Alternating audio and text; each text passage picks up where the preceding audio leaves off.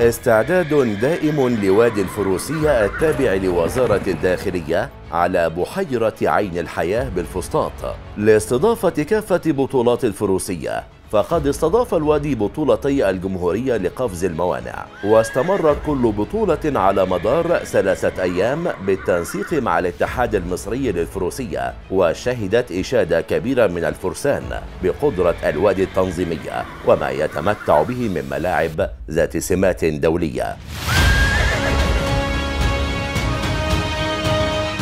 الإمكانيات هنا عالية جدا جدا جدا. طبعا يعني ده بين- بينعكس على سلامة الفرسان وسلامة ال- الخيول نفسها.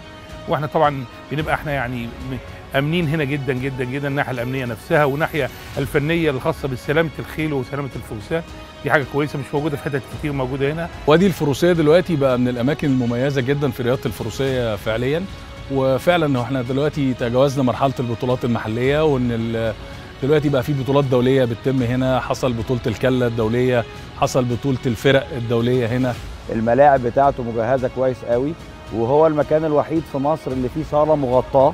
فده بتتيح ليه إن هو إنه نقدر في عز الحر نقدر آه، نتمرن داخل المكان نفسه. المكان حلو جدا وواسع والأراضي حلوة جدا والخيل بتبقى مستريحة قوي. أراضي التسخين آه، كويسة الخيل كلها مفيش ز- بتبقى فيه زحمة.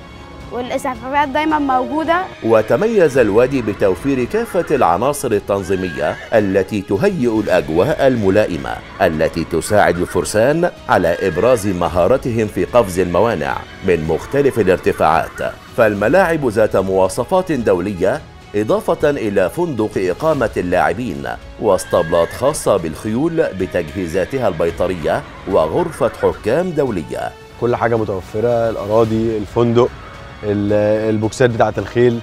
كل حاجة متوفرة فيعني تقريبا أكتر مكان موجود دلوقتي يقدر يستقبل بطولات دولية. تجهيز المكان على أعلى مستوى بصراحة البوكسات مش ناقصها حاجة. وأحب اشكر وزارة الداخلية على مكان جميل زي ده وإن أنا موجود هنا النهارده وراكب معاهم.